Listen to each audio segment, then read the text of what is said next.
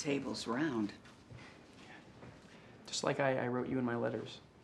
Yes, just like you wrote in your letters. Dr. Jessen gave me the book you brought. Margery Kempe. She's your favorite.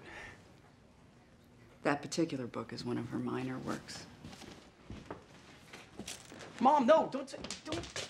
Can't grab stuff off the board. This key is evidence.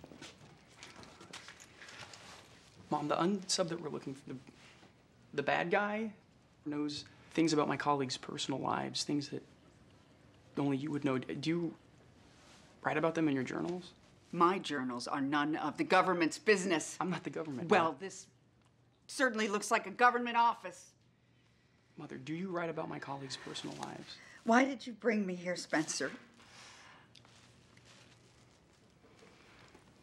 I need to ask you some things about a man I think you might know. Oh, a bad man. He, he's killed some people and he's, he's holding a girl hostage. You think I know someone like that?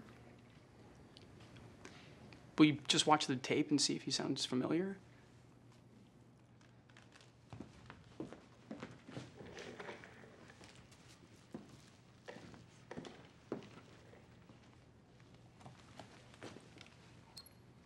I had to make sure I had your complete attention.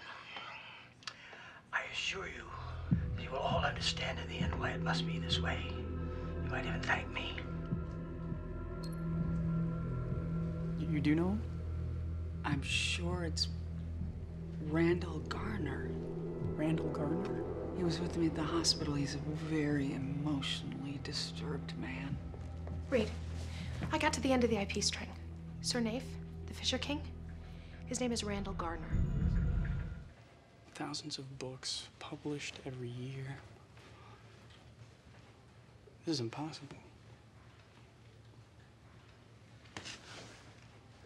Year every year.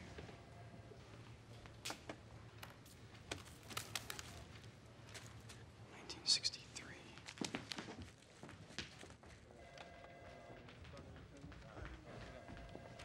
Agent Hotchner? Yes. The delivery guy's on the way up. The one from the press conference? Thank you. The book has to be the right volume and the right publication date, or the code won't work, right?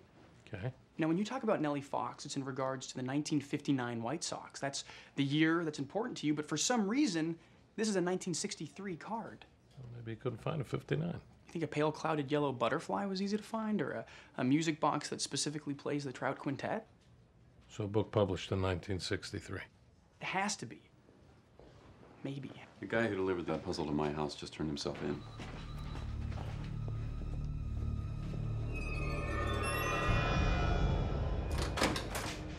You delivered a package to my house yesterday, Do, do I need a lawyer here? late in the day to my wife. I guess I could check my logs. You know exactly which delivery we mean. Look, this guy comes up to me on the street with the package. He says it only needs to go a few miles and that a girl's life dependent on it. And you didn't find that suspicious? He said a girl's life depended on it, man. I was gonna take no chances with something like that. I see. So you're a humanitarian here then. Yeah, I, I guess you could say that.